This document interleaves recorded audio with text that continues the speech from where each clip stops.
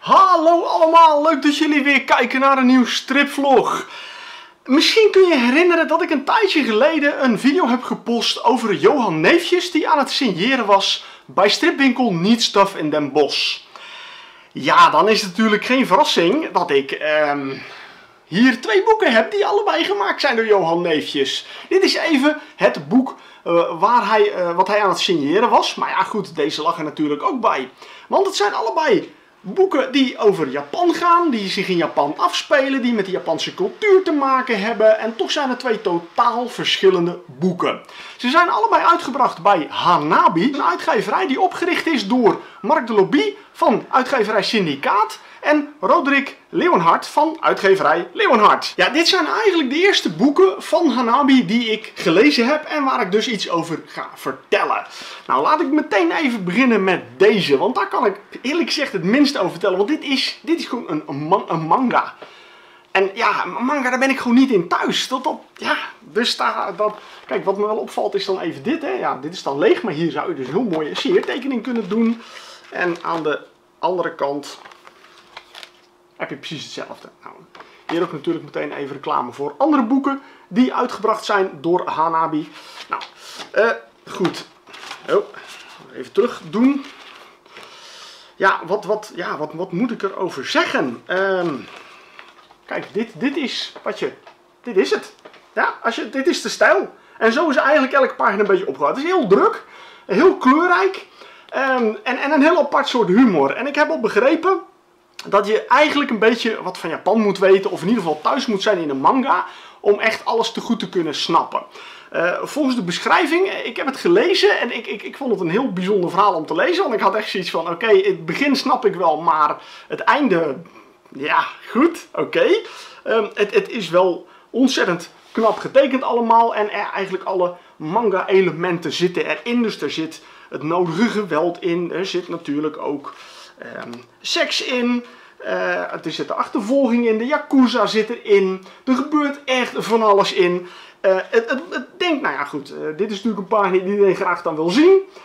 Um, ik denk het belangrijkste wat ik hierover kan zeggen is dat ik het sowieso ontzettend knap vind hoe Johan Neefjes het allemaal getekend heeft. Dat, dat, dat, dat hij kan tekenen, nou daar is geen discussie over mogelijk, want dat bewijst dit wel. Kijk, hij is zelf een hele grote liefhebber van Japan. Hij gaat er heel regelmatig heen en hij weet er natuurlijk heel veel van. Dus vandaar dat dit eh, eigenlijk voor hem heel logisch is om zoiets te maken. Alleen ja, voor iemand die dus helemaal niet thuis is in die hele materie, is dit toch wel even een vreemde eend in de bijt. Maar ik denk, ja goed, hè, laat ik het toch een keer zien, want ik weet dat er ook hier in Nederland heel veel manga-liefhebbers zijn. Er zijn ook diverse uh, conventies die daarover gaan en, en die worden ook heel goed bezocht. Dus nou ja, er is ook een markt daarvoor. En ik weet ook dat bij mijn favoriete stripwinkel Eppo in Eindhoven, daar hebben ze ook een hele grote manga-afdeling. Dan moet ik zeggen, deze ligt mij een heel stuk meer. Jurai Dwaallichten.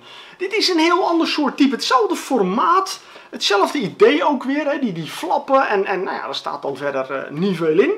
En ook hier weer uh, reclame en ook weer zo'n flap. Dus de, de, hele opzet is hetzelfde. Maar als je hem opent, en dan ga ik hem meteen even gewoon hier openen. Dan zie je al meteen van, hé, hey, dit is een hele andere stijl. Dit is eigenlijk gewoon meer zwart-wit met een steunkleur. En elk verhaal heeft dan een beetje zijn eigen steunkleur gekregen. En dit zijn, ja, spookverhalen, horrorverhalen.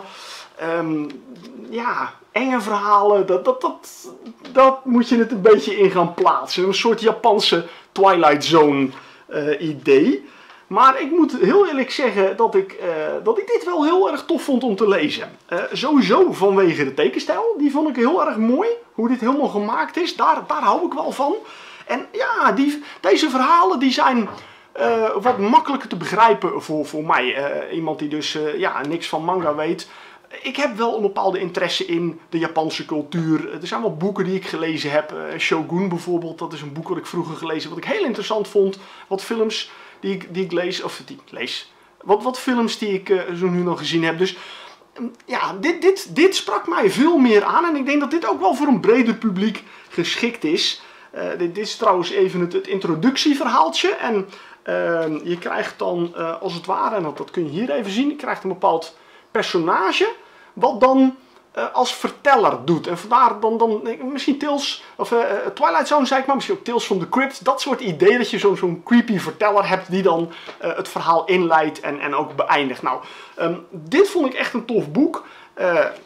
Deze, ja, vond ik best leuk om een keer te lezen, maar dit is, dit is gewoon echt iets waar ik niet goed weet wat ik erover moet zeggen. Dus, nou goed, in ieder geval twee hele toffe boeken van Johan Neefjes. Nou, ze liggen bij de stripwinkel of bij uh, waar jij je favoriete uh, manga's gaat halen, kun je ze waarschijnlijk ook wel vinden. Dus ben je nieuwsgierig? Ga ze halen, ga ze lezen en geniet ervan. Ik zou zeggen bedankt voor het kijken, veel leesplezier en tot de volgende keer.